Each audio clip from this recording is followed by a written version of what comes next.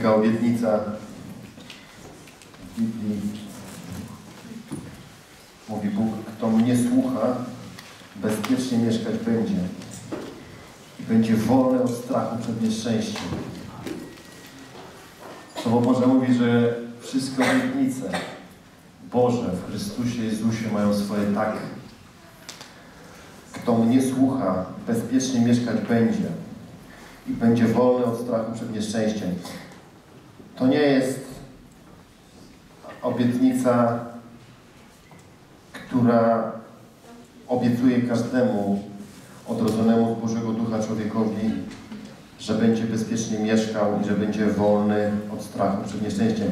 To jest obietnica warunkowa. Kto mnie będzie słuchał, kto mnie słucha, wreszcie jest napisane, kto mnie słucha, czyli ten, kto na stałe jest ukierunkowany na mnie. Z Bogiem nie chodzi się czasem. Z Bogiem nie obcuje się od czasu do czasu. Tak nie ma z Bogiem, bo tak nie ma z miłością. Nie ma takiej miłości, która jest od czasu do czasu. Ona albo jest, albo jej nie ma.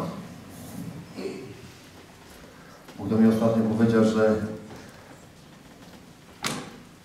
drogą do stałego, realnego zwyciężania to jest droga doświadczania miłości. Droga doświadczania miłości. Bo Bóg to jest postać, która chce, wręcz ona jest tak, ona jest, to jest, to jest, to jest jedyny sposób Jego, a że On jest, On chce na stałe być doświadczany przez człowieka. Na stałe. Dlatego tu jest napisane, kto mnie słucha, bezpiecznie mieszkać będzie. I nie może, bo na pewno. Każdy człowiek, który słucha Boga, bezpiecznie mieszkać będzie. I będzie wolny od strachu przed nieszczęściem, nawet nie od nieszczęścia. Nie od nieszczęścia, od, od strachu.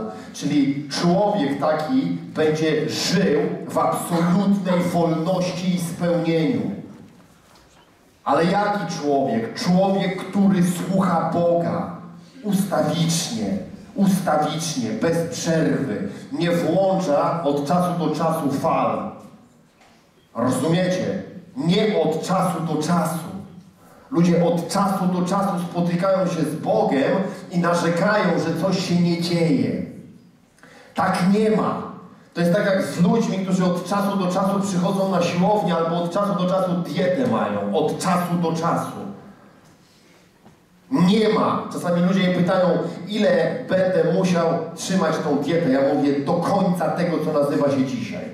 Nie wiem, czy Ciebie to interesuje w ogóle. Jak zaczniesz, tak? Jak zaczniesz, to nie będziesz mógł skończyć. A co się stanie, jak skończę? Ja mówię, odbije ci jak gałąź w lesie. Odbije ci jak gałąź w lesie, rozumiecie? Jeżeli będziesz, jeżeli decydujesz, żeby na stałe słuchać Boga, tak? To ty autentycznie zaczynasz być człowiekiem realnie doświadczającym zwycięstw. Rozumiecie? I Boga słucha się w całości, a nie Boga słucha się w pewnych aspektach. Nie można Boga słuchać w pewnych aspektach, a w innych Go nie słuchać i myśleć, że będzie dobrze. Nie będzie dobrze. Nie będzie. Wiecie, Bóg jest dobry, ale On nie posiada taryfy ulgowej. On dla wszystkich jest taki sam. A świat jest popieprzony równo. Coś wam przeczytam o świecie. Każdy człowiek podaje najpierw dobre wino, a gdy sobie podpiją, wtedy gorsze. Taki jest świat. Na początku ci obiecuje, na początku ci mówi, jak będzie cudownie. Następnie doprowadza do tego, że zaczynasz być krok po kroku poddawany jego manipulacji. I kiedy jesteś już zaczarowany, wtedy ładuje ci taki materiał, tak, który ciebie zabija. Posłuchaj. Każdy człowiek podaje najpierw dobre wino, a gdy sobie podpiją, wtedy gorsze. I tu jest greckie słowo human. Rozumiesz? Każdy human. Każdy. Każdy. Każdy system myślowy tego świata to jest system manipulacyjny. Najpierw ci obiecuje, mówi, będzie pięknie, a potem cię czaruje, rozumiesz, i budzisz się z ręką w nocniku, ale Bóg mówi, jeżeli mnie będziecie słuchać, mnie, nie tego świata, mnie, wtedy będziecie bezpiecznie mieszkać, a demoniczne siły do was nie dojdą. Jeżeli mnie będziecie słuchać. Rozumiecie? Życie chrześcijanina to nie jest walka z diabłem. Życie chrześcijanina to jest postępowanie według standardów Bożych. Jeżeli ustawicznie walczysz z diabłem, tak? To zaczynasz mieć problemy. Wczoraj usłyszałem wypowiedź pewnego polityka, który powiedział taką rzecz.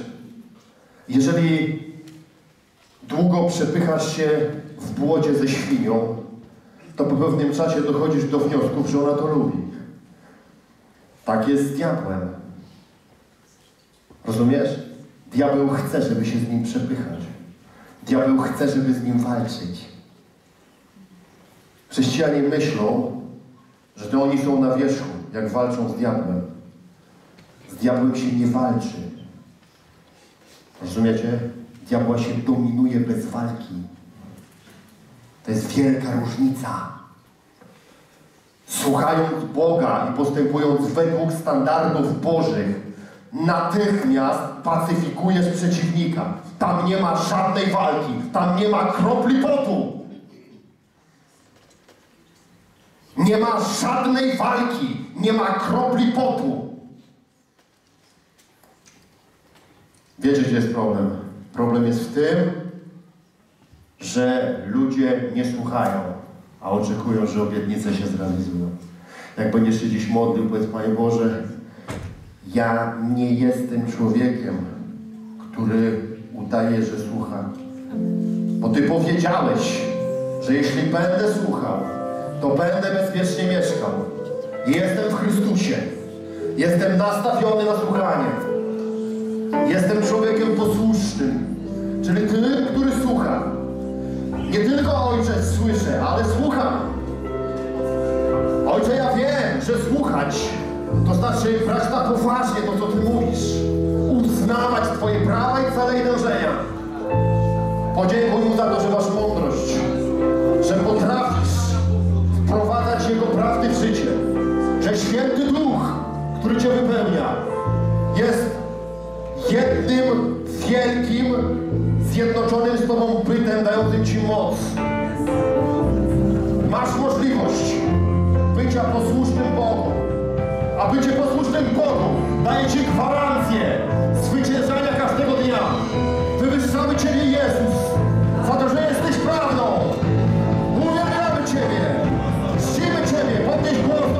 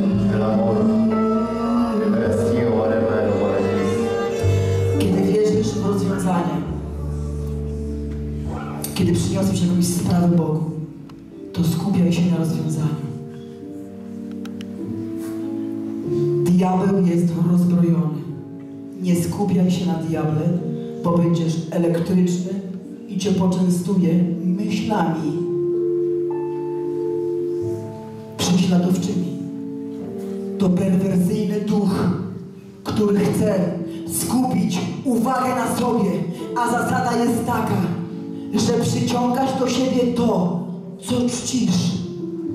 Kiedy przyniosłeś daną rzecz przed Boży tron, to uwielbiaj Go za rozwiązanie.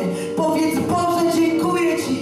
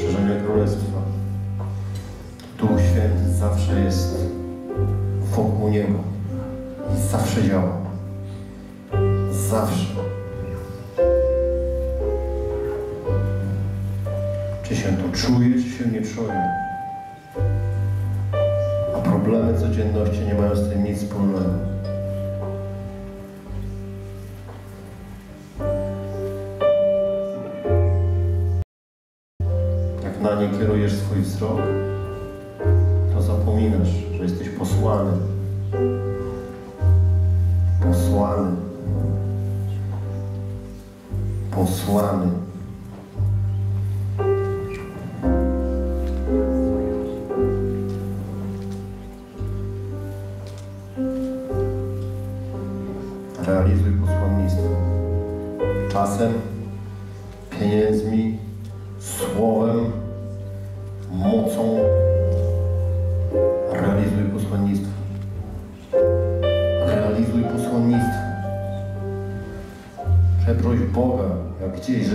Zatrzymał, bo ci się zdawało, że nie dosięgasz czegoś.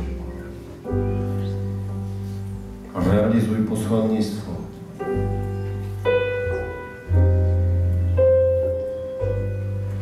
Człowiek, w którym mieszka święty Duch, jest jak Bóg na tej ziemi. Gdzie On, tam Bóg. Gdzie Jego usta otwarte, tam usta Boga otwarte. Gdzie On daje swój czas, tam Bóg go wykorzystuje. Gdy człowiek Boży bierze się za coś, mówi Ojcze, biorę się za to, aby szerzyć królestwo, to to coś musi się zrealizować z sukcesem.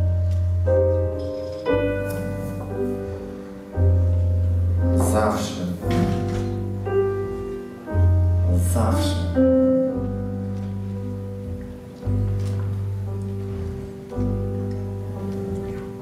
Najpierw byłem dobrym ewangelistą, a potem stałem się dobrym ojcem.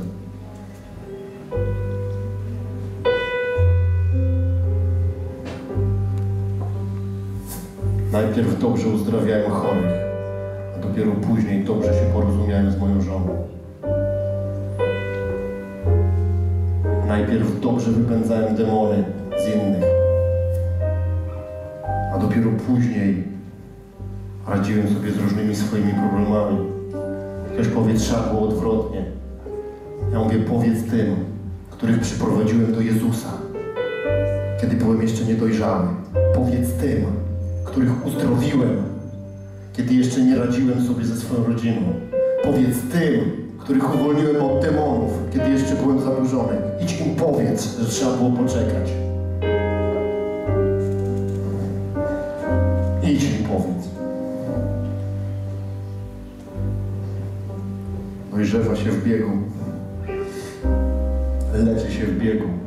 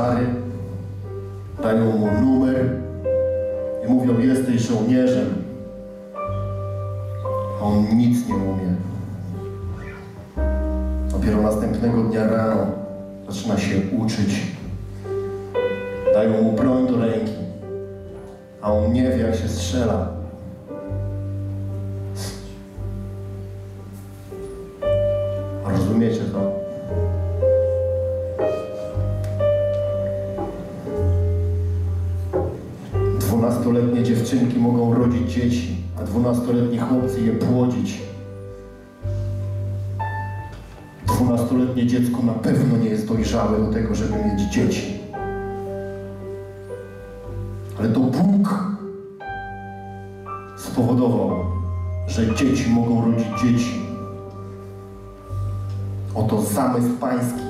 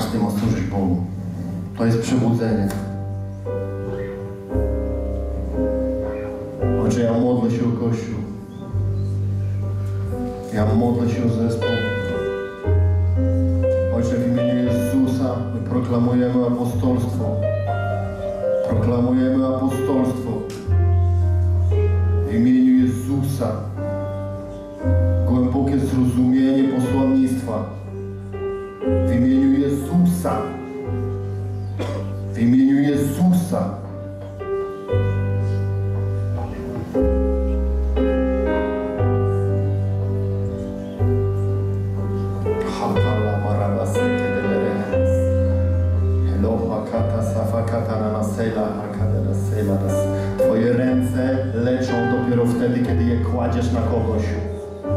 Twoje usta mówią Bożą prawdę, kiedy je otwierasz.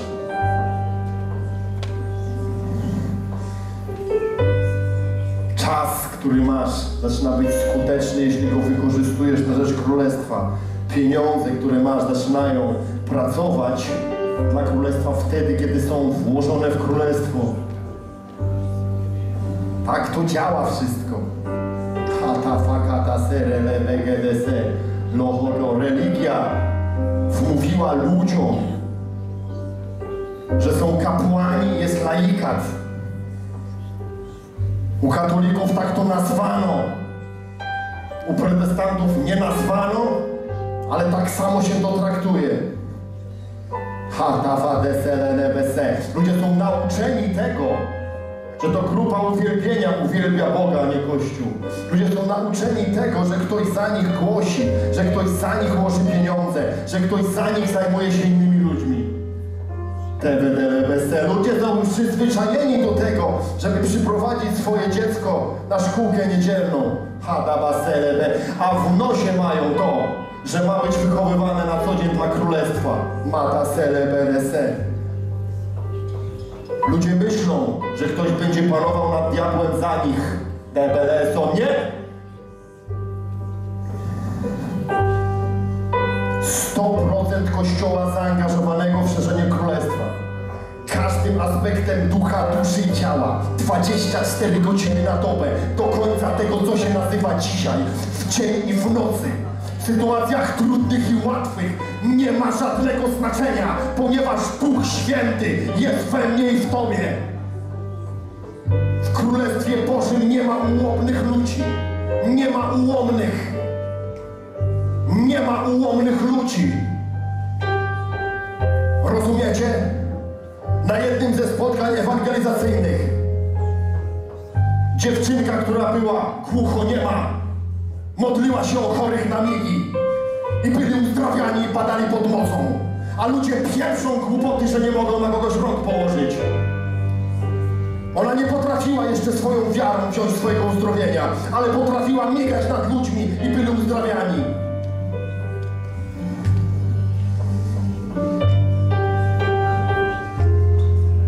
Rozumiecie, o czym mówię?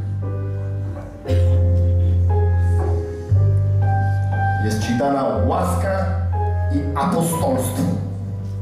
I nie mów, jestem jeszcze za młody, jak mówił Jeremiasz. I nie mów, słabo mówię, jak mówił Mojżesz. Bo przez jąkałe Mojżesza Bóg wyprowadził milion ludzi z Egiptu. Bo przez młodzieńca Jeremiasza Bóg ustanowił kierunek, w jakim ma podążać Izrael i ochronił ich przed utratą wiary w niewoli babilońskiej. Rozumiecie? I nie mów, mam za słabe wykształcenie, za mało wiem. Ageusz był zwykłym chłopem z pola i głosił w imieniu Jezusa. Jeszcze nie znał Jego imienia, ale moc Świętego Ducha była nad nim. Nie mów, że czegoś nie masz, że za wcześnie, że jeszcze musisz poczekać. Nie. Nie.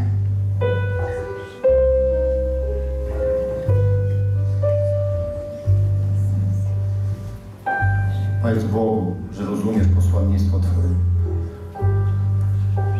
Twoje posłannictwo, osobiste apostolstwo.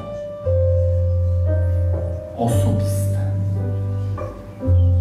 Każdy jest inny, ale każdy jest powołany, aby szerzyć królestwo. Każdy.